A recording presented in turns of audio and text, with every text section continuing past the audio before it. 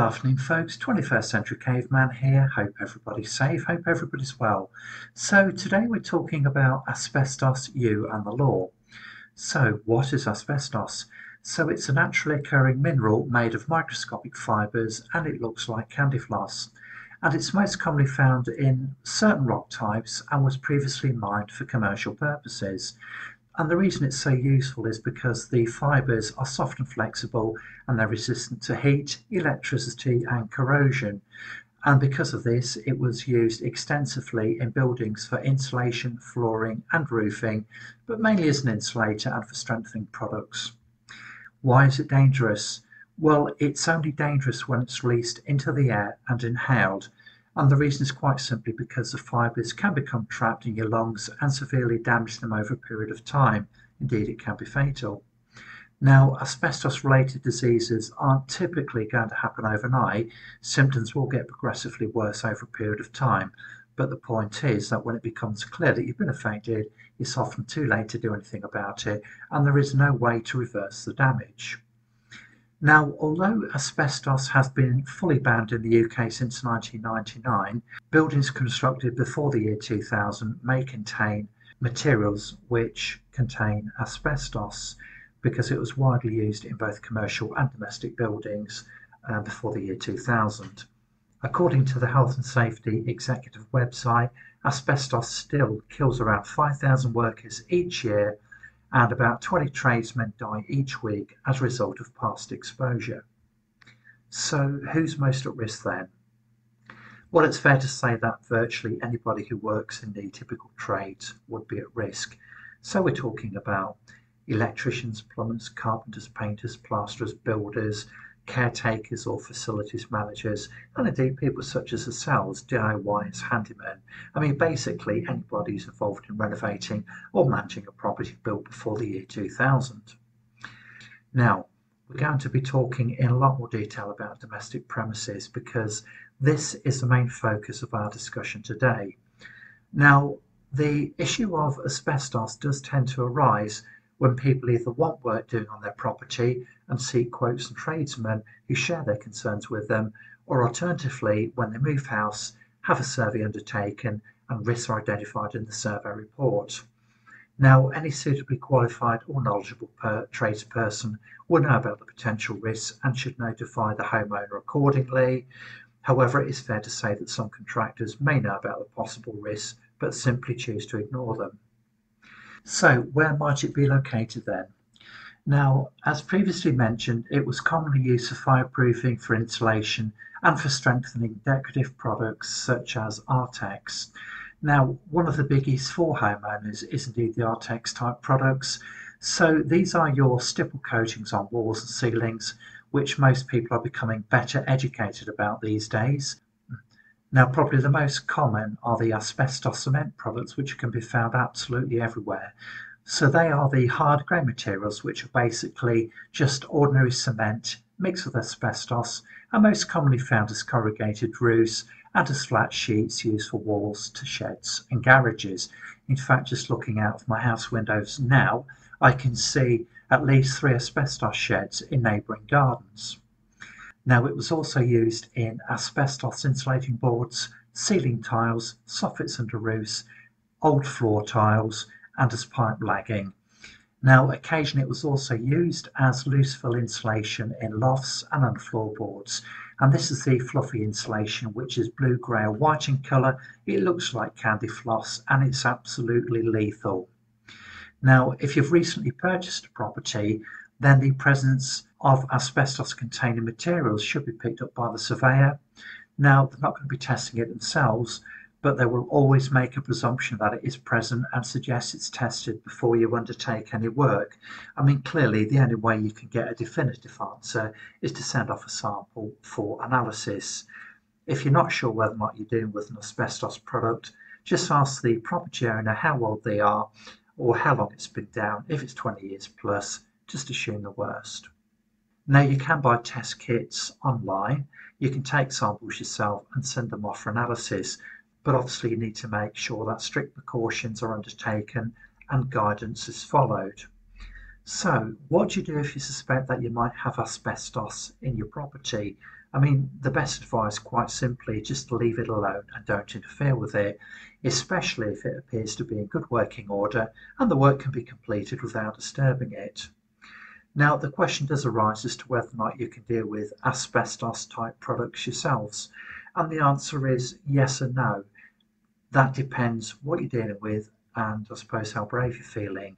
The answer is yes, you can deal with it yourself if the product isn't damaged or only lightly damaged, and sometimes they can be repaired by either sealing or enclosing them in.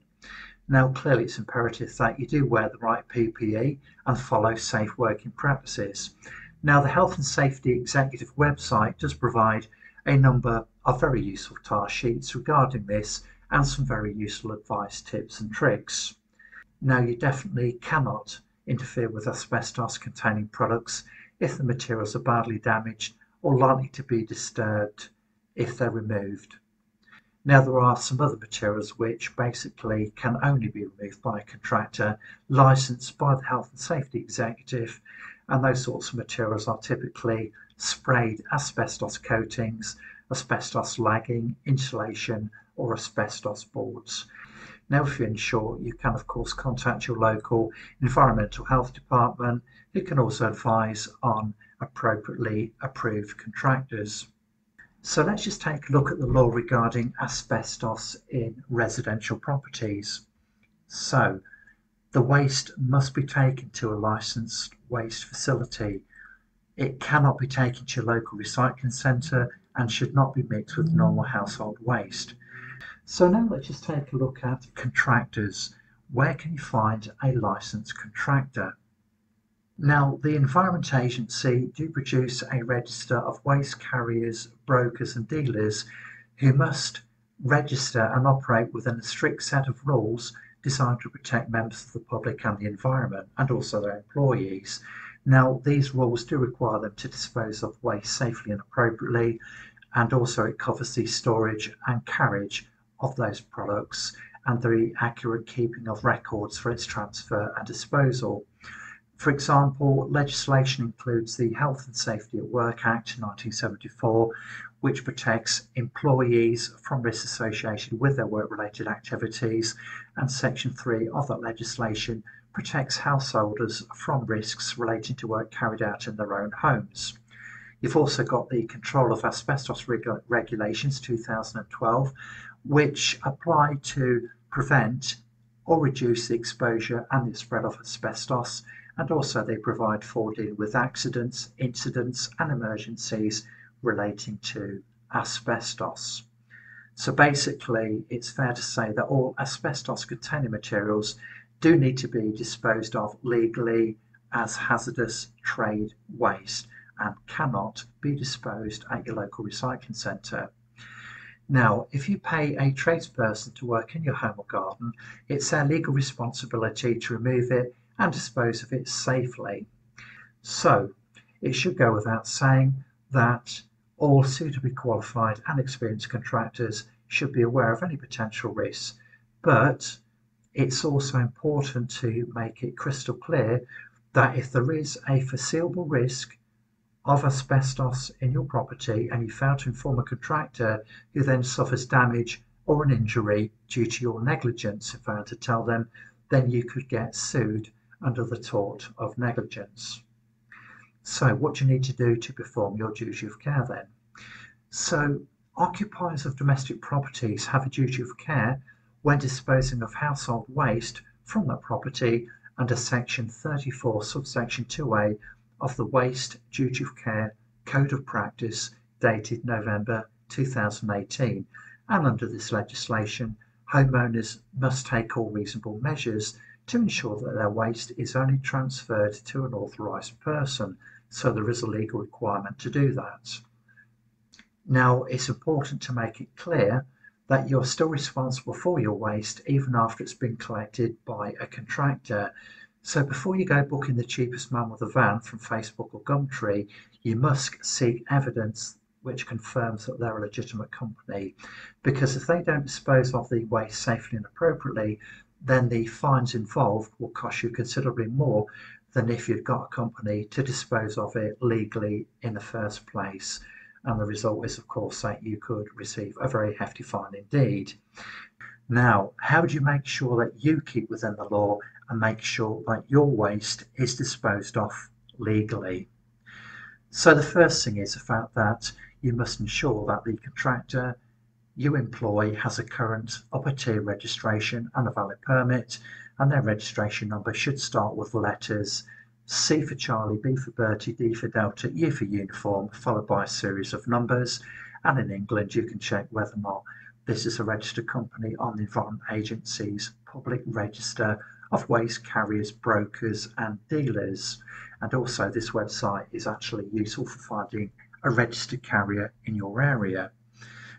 Now, although there isn't any legal requirement to keep records to prove that you've actually carried out your due diligence and made these checks, if your waste is subsequently fly tipped, this will be valuable evidence to prove to an enforcement officer that you have discharged your duty of care.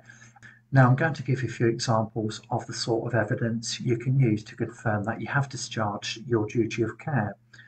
Clearly, make records of any checks you've made, including details of the operator's registration, permit or exemption number, keep copies of emails and texts, keep receipt for the transaction which should include the business details of a registered operator. Also ask for copies or take photographs of the carrier's waste registration or site permit. I mean, obviously you can use your mobile phone for this. Now, you should also take records of any vehicles used to remove your waste. You could take, for example, a photo with your phone and importantly, make a note of the registration number, the make, model and the colour of the vehicle concerned so that it can be traced back to the operator. Now, what happens if you fail to meet your duty of care? Well, it's a criminal offence not to take all reasonable measures to discharge your duty of care. If you don't, then you could face prosecution and receive a very hefty fine and also end up with a criminal record. And you could also be given a fixed penalty notice as an alternative to a court hearing. But also, this is going to be for the more minor offences. So basically, now that you're in the know, you will be able to keep both yourself, your family, and also other members of the public safe and also protect the environment. I hope you found this video useful. Thank you for watching.